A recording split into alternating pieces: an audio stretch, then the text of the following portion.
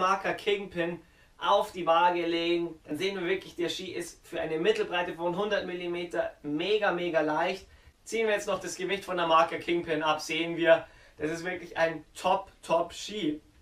Und das alles macht es für mich eigentlich zu dem perfekten Tourenski für alle Leute, die zwar lange Touren gehen wollen und denen das auch Spaß macht, die aber keinen oder fast keinen Kompromiss beim Runterfahren machen wollen, die wirklich das geile Surfgefühl beim Runterfahren haben wollen, die durch den Powder splashen wollen, dass einfach das Fahren Spaß macht, das Fahren steht im Vordergrund.